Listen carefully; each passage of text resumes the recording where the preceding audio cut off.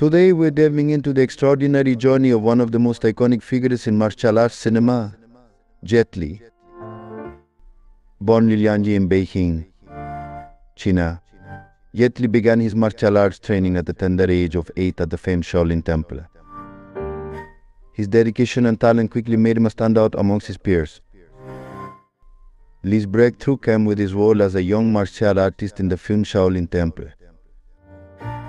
His breathtaking agility and precision mesmerized audiences, propelling him to stardom in China.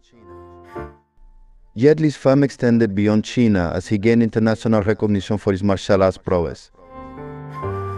His transition to Hollywood was seamless, starring in blockbuster hits like Lethal Weapon 4 Romeo Must Die and the Expendables series.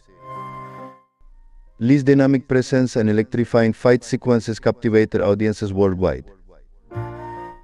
Beyond these cinematic achievements, Li is also known for his philanthropic efforts. He founded the One Foundation dedicated to disaster relief and poverty alleviation. In conclusion, Jet Li's journey from Shaolin to Hollywood is not just a story of martial arts mastery, but also one of resilience, talent, and philanthropy. Join us next time for more insights into the world of cinema legends. Don't forget to like, share, and subscribe for more content. Thanks for watching.